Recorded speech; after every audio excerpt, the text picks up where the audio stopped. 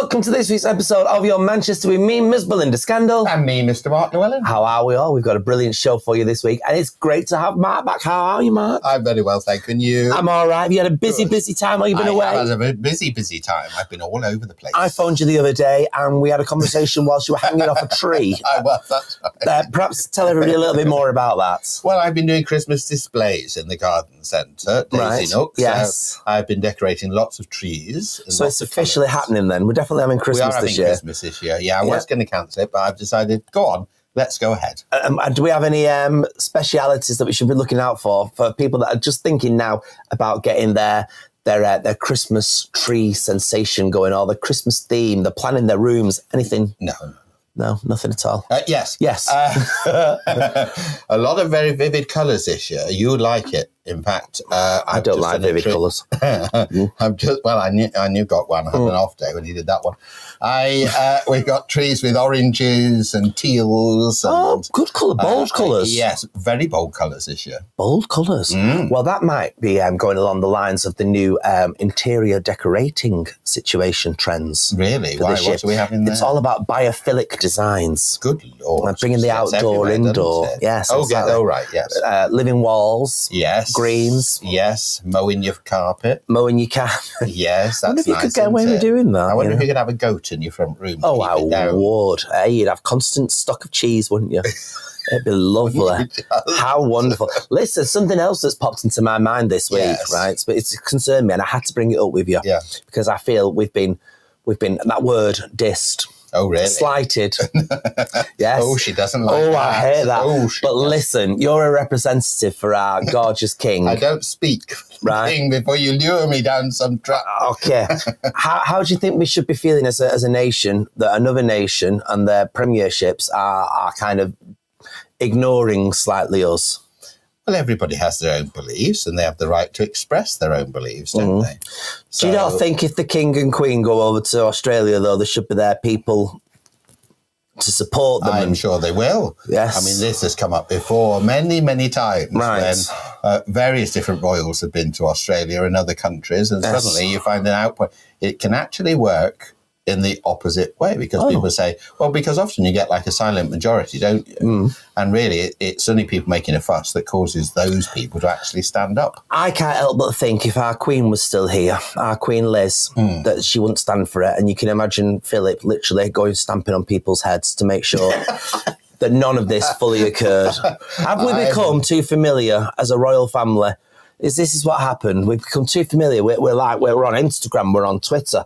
We're, we're not aloof anymore. Well, they've got to be keep up with the times, haven't they? Even you are on all these things. I'm trying to be. Yes, Yes. yes. So no, I think it's it comes and goes, it ebbs and flows. This argument um, has always happened. Okay. Well, we are still a great city. That is that is for We certain. certainly are. And uh, the writer and creator of Peaky Blinders, they're filming this week over they? at the, towards the northern quarter. But it's funny you should say that because driving into the studio today, I saw Unit Yes. PB on lots of signs, and I go. wondered what it was. So that's what it is. So it's the writer of Peaky Blinders who's created a new drama. We've had lots of things being filmed recently. Hmm. There's a, a new sick, um, a new movie called Emily that's being filmed. That was actually done on Canal Street as well. okay, with some of the cast you know? Matt the Donkey. On this week's show, as Oh, we yes. get closer, we'll be um, we're speaking to to David Allwood about his new show, Homo Parody. Uh, what is Homo Parody, though, Mark? Homo Parody is a collective of LGBTQ plus individuals from across the country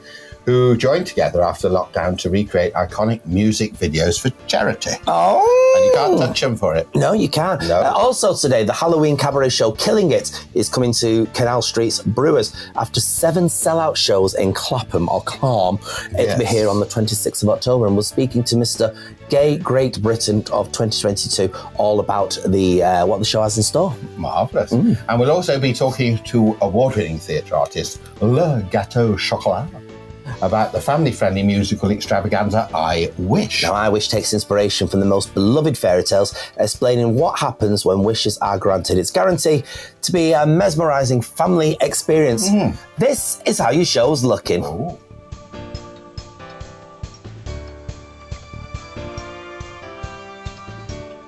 And joining us now is Mr. David Allwood. Welcome, David. How are you? Hello, I'm good, thank you. Thanks for It's having been me an here. absolute long while since we last saw you here in Manchester. I'm trying to think what you were in when you were up here last. I think it was Miss Saigon was the last one. Miss Saigon, that's right, because we learned actually on that day there exactly what they use as the top of the gates, didn't we? Yeah. Oh, yeah. Yes, which was interesting. For those who don't know, we'll do another post on that. But listen, you're coming back to Manchester, you're coming to one of my favourite venues, you're coming to the Brewers, and you're bringing us a lovely evening of spectacularness. Uh, tell us all about it. Yeah, so we've been doing shows at the two brewers in Clapham for over a year now, and they all go so well. And we just were like, let's just, you know, take a leap of faith and go up to Manchester and bring bring our show to a Manchester audience for the very first time. Um, so we're bringing our Halloween show, which is called Killing It. Uh, on the 26th of October, and it's going to be it's our most ambitious show we've ever done. We're basically making a Halloween musical. Like we're just throwing so many things, like elements of cabaret, into a plot that is. Uh, I wouldn't even say it's a loose plot. It's a real plot. We've got a full story, um, and oh, my cat is coming to get involved. A black Hello, cat for kitty cat. Um, and yeah, we've we've started rehearsals already, and the show is full out. It's so fun, uh, and I just can't wait to do it in Manchester. We've always wanted to perform in Manchester, and this is actually Homo Parody's very first gig, so we're we're buzzing for it. So, Homo Parody then, what are the, the essences that are included within a Homo Parody evening? So it's all well, we, we're all about joy. We just want people to have a good time, to enjoy themselves, to laugh, uh, to be entertained, and yeah, we. We kind of mix everything because we're a dance collective fundamentally, but we have so many talented singers in the collective, drag queens, uh, cabaret artists. So, what people can expect is a little bit of everything. We do full out dance routines. We have an incredible host. Um, it's Monroe this time round, and she we saw her at the Drag Idol finals. And just actually, I went straight up to her after she finished her set, and I was like, "No matter what happens tonight, can I book you for um, for killing it?" And she was like, "Oh yeah, that sounds amazing!" Like she's a proper like rock chick drag queen, and I think it will work perfectly for for this show. So we're really excited to have Monroe. Um, and there's a cast of eight, uh, eight cabaret performers and professional dancers. And what I also love about it is we're all collaborating on the show. Like I direct it, but it all comes from everyone. So if someone wants to do something, wants to try something out, then we we try it out and we make it work for the show. Um, so yeah, it's it's going to be it's going to be fun. I'm really excited. So, are the, do the audience get involved in this, or do they, is there a special dress code that they must adhere by? The audience definitely get involved for sure. There's a few elements within it. I think the opening number, people will know a routine to it. We always do a musical in our shows, and we're starting with a musical this time. Is it going to be wicked? It, do you know what? It actually was gonna be Wicked, but we changed it. It's going to be the Rocky Horror Show. Um, and so a lot of people know the time warp. Everyone can be getting up and doing the time warp with us. Um, and yeah, we also we have some games within it, but there's also a prize for best dressed. So best fancy dress costumes. Come spooky, come as a mouse star, and uh, yeah, let's uh, let's see who wins. Uh, for those who don't know, you had a, bit, a title bestowed on you a few years ago. What was that title? Uh, yeah, so in 2022, I won Mr. Gay Great Britain, and then last year I came second in Mr. Gay World. So And how how has that kind of changed your life? How's it had an impact on you?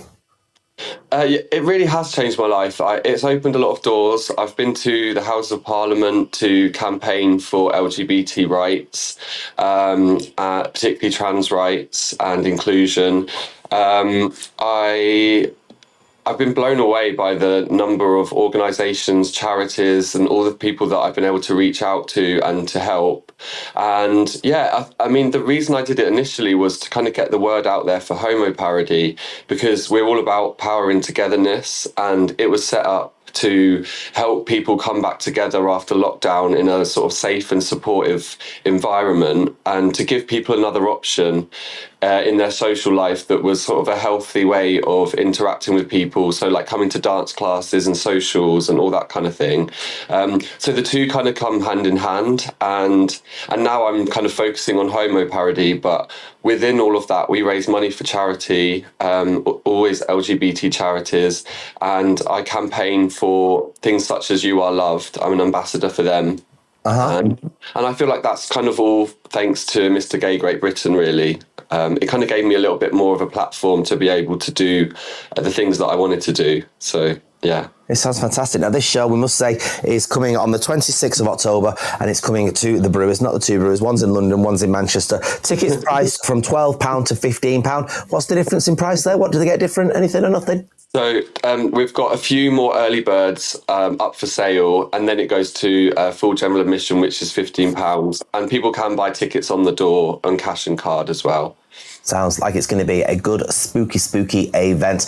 Uh, thank you, though, David, for everything you've done over the last few years and keep going with doing all the good fundraising that you're doing. You and your other, we must mention your other half because you're such a cute couple. It's so lovely to see that real love does fully exist in this beautiful world of ours. It's an absolute joy. And of course, the pictures aren't too bad on the eye either that you're posting. So, tar very much for that. Uh, thank you so much for now, though, David. Thank you. Thank you so much. Well, wasn't that absolutely fascinating? Wasn't it? Wasn't that good? Yeah, I'm looking Yes. forward to that. Yes. It'd be a load of people having a nice boogie, a little dance, Yes. a little, a little, Yes. a little time with themselves. Hey, I tell you what, that reminds me. There's going to be a. We're not that long away from um, Eurovision, really. Are we? No, where next, is it this next year? May.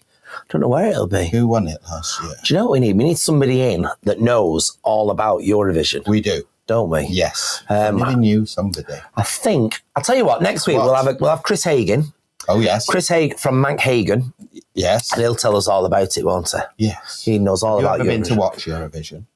No, I Have you haven't. ever been in it? I was I in it? Yes. What did you do? Uh, I was a puppet on a string. I tell you, Brotherhood of Man. oh yes. They came to my school. Did they? yeah, because one of the women in it, her brother was my geography teacher, Mr. was they saving all the kisses for you? They certainly They were. were the first version of Bright Eyes that I heard Oh, yeah. on a tape, and that On a tape. Bright Oh. Eyes. That's one for rabbit And lovers, to isn't have to edit the tape with a Yeah, a um a blade, and, A blade. sticky tape thing, and also on a cassette where you had to use a pencil. it? yes, That was the only way to tighten Yes, it up. it it? was, a pencil, tighten it up. How absolutely fantastic. Yeah. Um, mm. Uh, right, so uh, let's move on to our next interview. Yes, Yes, I'm very excited about this one. Le Gâteau Chocolat. I just Hi. And you've got two productions coming up in Manchester, haven't you? One with the Halle and one at home. Do tell us about it. Indeed. Um, so I uh, made a kid show a while back. Um, I think it was 2015. I made a kid show called Ducky, and um, I never thought that that was something I was going to do, but it was very rewarding, and it was born of uh, uh, my my need to give my nieces. I've got two nieces.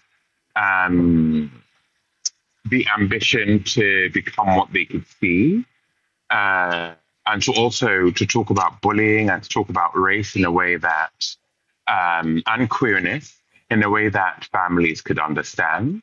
Um, and the the show that I'm doing at home is the follow up to Ducky. Um, so Ducky is now nine years old, and I thought I'd make a sequel. This is not linked to Ducky, but it's um, my second family show, and I'm very excited to bringing it to Manchester this December. Fantastic. And I was looking through the list of some of the music that you, featured in the in the uh, event with the Halle. Some fantastic music in there. Um, I so the the great thing about the music selection in the Halle Bass Diva concert this weekend is that um, I try not to be limited by far. So soprano, uh, alto, tenor, baritone, mezzo soprano, contralto. All the music is fair game. They just they're songs that have lived in my heart and lived in my soul, and I get to do them with the fullness of an extraordinary orchestra this weekend. So I've got When I'm Laid um, by Purcell, which is a soprano song, but it's also born of my love of some extraordinary singers like Jessye Norman. Jessye Norman's rendition of that is earth shaking. So to be able to do it versus not being able to do it because I'm not a soprano, um, th- this form allows me to tackle any and every material, and I run the gamut all the way from Purcell to Whitney, um, which is exciting to have in, in the one concert. Sounds absolutely amazing. We hope both go well. And thank, Thank you for you joining much. us on the show. Thank you for having me. I really appreciate it. Have a lovely evening. Do you remember Sara Lee? I do. Weren't they the best gateaux? Oh, I can't find anywhere, and I keep going on about this. Viewers, please help me. I cannot find anywhere that does a good Black Forest gateau. They've gone out of fashion, haven't they? It's a shit like prawn rings. Uh, well, aren't they? Can't you get a prawn ring in Iceland? Oh, man. I believe it's a store. So my staff tell me. Oh. Right. But uh, I don't know. No, I've not seen a prawn ring for a while. No. Uh, I've And vol-au-vents. Vol-au-vent. My mother does vol-au-vents for me every Christmas. Yeah. Right? I've got to have a mushroom vol-au-vent. Right? But they've a gone out of fashion as well, haven't they, though? They've gone out of fashion. I did have prawn vol-au-vents to do recently, so they're they're available. Right? Uh, we don't need to go into crisis mode yet. well, Um, Yeah, you're and I had a lovely Viennetta. Viennetta, I know. It was common for a while and then it came posh, didn't Oh, it? yeah, and and I've often wondered, you know, the tray it comes in, yes. why they never made that out of edible chocolate? Because that would have been delightful, wouldn't it? That'd be lovely. I know, I've always thought of thought Yeah. that. Maybe I should work for Wall's. Maybe the water would be sponsoring us and we should get a free supply. Other ice creams are available until that sponsorship fully occurs, everybody. Uh, listen, you've had a great show. Yes. We're done now. Can we go home? Yeah, I'm going to get. Consuela to come and pick me up. I've got some damsons on a low light. Somewhat. Damsons on a low light. Damsons, they're like mm. prunes, aren't Yeah. they? Yeah. Make you regular. Do they? Yeah. See, you're doing it wrong. I leave my damsons a very long time and turn it into gin. No, yeah, well, I don't drink, do I? No, well, So I, I, like don't drink. Don't drink. Don't- no, don't drink at all. You like the what? The jam? I like jam more than drink. Do you like a marmalade? Yeah, so I love a marmalade. I like a marmalade. Mm. It's got to be a marmalade with a bit. Orange juice. This is the argument I had the other week. Yes, Just what? before we go, viewers. Orange juice with bits or without bits? oh, with bits. Really, why? I just think it feels like it's proper stuff. Don't it though? But I tell you what, I'm drinking at the moment from a certain store Which that we one? mentioned two weeks ago. Actually, Oh, yeah. to celebrate anniversary. Right. Clementine juice, Don't like clementines. don't you? No. Oh Not a big fan of clementine. You can't be a good easy peel. no, I would have thought you could squeeze your own though. I can. Using I thought you were doing it now. Actually. Yeah. yeah. Yes. Squeeze, squeeze, Yes. squeeze. Yeah, Yes. you- I can juice anything, mate. Listen, I can eat an apple through a tennis racket. I can flour. Honestly, not a problem at all. No issue. I'm being told we've got to wrap up now. No, I think that's just. Oh, that's just I've short. enough of us. Hey, we've done a, we've done lots today. We've done topical. We've done tropical. yes, we Hey, have. we've, done, it all, flour. chocolate. Chocolate. Yes, We've done healthy, unhealthy. We've covered all the angles. We've covered that much of cake today. We've given it various different slices. yes, I feel I want some now. Do you? Yes, And some food. just some food. To be Oh, honest, a cup of tea and a chocolate eclair does me marvelous. You've changed since the king put a medal round you, I tell you. It's all changed. Anyway, thanks for watching, everybody. Check out the podcast this week. Mm. Stephen's got loads of interesting things coming up over the next few weeks. Has he? Yes, but It's apparently. Yeah. Yeah. Well, that's it for this week's show. Join us next time for another fantastic episode of Your Manchester. Fiesta!